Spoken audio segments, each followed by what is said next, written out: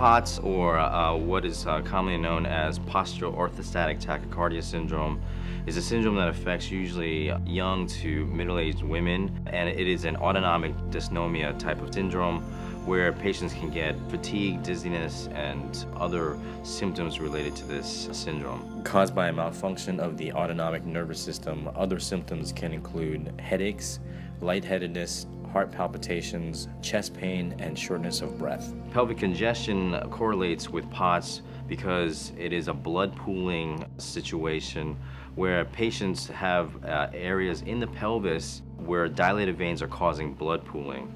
By fixing the blood pooling uh, associated with pelvic congestion, we also can not only fix pelvic pain associated with this, but also increase the blood return to the heart, thereby improving hypovolemic POTS.